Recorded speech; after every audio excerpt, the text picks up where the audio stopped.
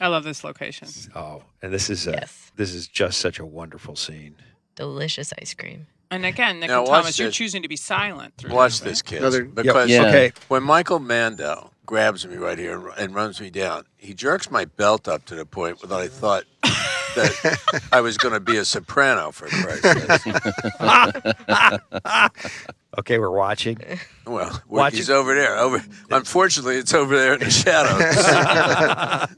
well, this was shot in, in 5K, so we'll be able to blow it up in post. Look at that shot. I Oh my It's God!